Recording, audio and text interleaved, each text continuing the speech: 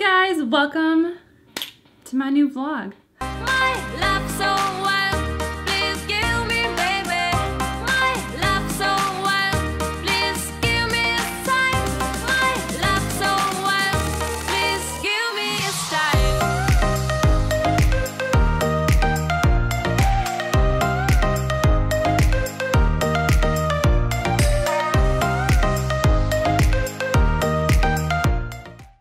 Vlogging is something I've always considered possibly doing. I've had people request for me to vlog, but I was like, well, if I vlog, what would I vlog? And how often would I vlog?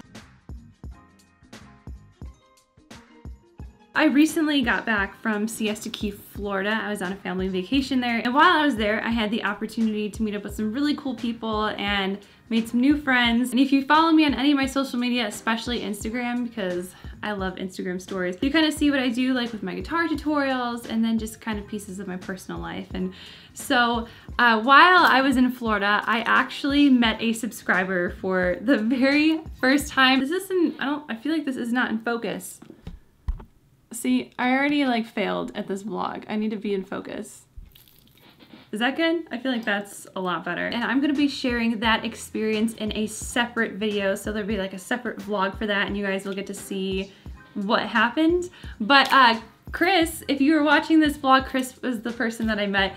Um, and I don't wanna give too much away of what happened that day because it was really awesome and that needs to be saved for a separate video. But Chris, I had an amazing time with you that day. I could not have imagined a better way of meeting and hanging out with the subscribers. So thank you for making my day amazing and so much fun and I hope that I did the same for you. So while I was talking to Chris, I got some really cool insight because, you know, he's an audience member and so I kind of asked him like his opinions and he said that I should start vlogging and I was like, do you think people would really watch me if I vlogged? He's like, heck yeah. But he suggested that maybe I should show kind of behind the scenes, like how I put my tutorials together and what I do and parts of my daily life. And he also mentioned that he really likes when I show my cats on Snapchat. And so I was like, I can put cats in my vlog. So if, if, if you guys want cats, I've got two of them and they're probably gonna be my vlogs all the time because I, I can't get enough of my cats. They are a huge part of my life. So get ready to see a lot of cats. So today I'm gonna be getting my Breedlove summer ready here. Ooh, that doesn't sound very good. She just needs some love. This is gonna be her spa day today. So we are gonna take these strings off, these old strings, and we are just going to polish her up. We're gonna give her a nice cleaning. I've been getting a lot of questions from you guys, like why I haven't used my Breedlove at all in my winter tutorials. And the reason is kind of stupid. I mean, you guys are probably gonna think it's just like the laziest like thing ever. Uh, that's because she's, she's got this wooden strap on her. And when I first got this strap, it was really hard to put on and take off. Um, because it's such a tight fit. And in the summer months, I'm standing in my tutorials all the time anyway, so I just like leave the strap on. But when I started teaching inside, I didn't need the strap anymore and I didn't want it to clank against the guitar and I didn't want to have to take it on, put it off kind of thing. So what I did was just use my other guitar that I don't have a strap on. And I know that's the stupidest excuse ever. It's so stupid, I know. So we're just gonna take this off right now because now it should be fine. It should just pull right off. Hold on a second. We need to get this to work. I think I'm just pulling it the wrong way.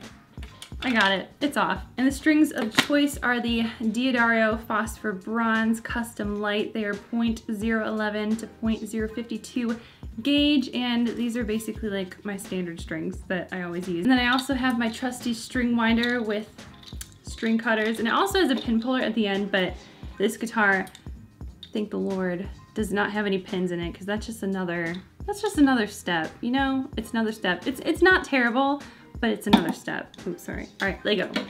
All right, so we are all set up here. So what I'm going to do first is just cut off all of these strings. Ooh, that's a scary sound, right?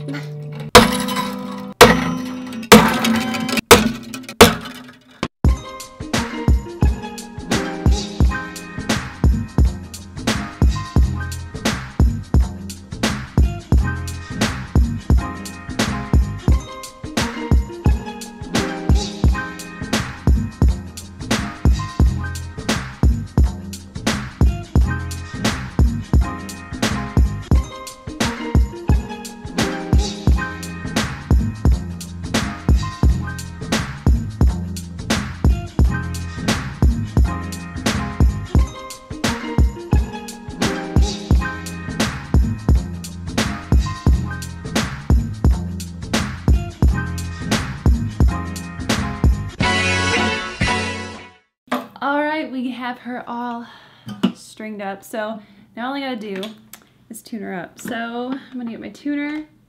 I'm so excited. Fresh strings always sound amazing. So the thing about putting on fresh strings is that they are not gonna stay in tune right away. You have to give them a little bit of time. So they're gonna go in and out of tune, but I'm gonna try to tune them up best as I can.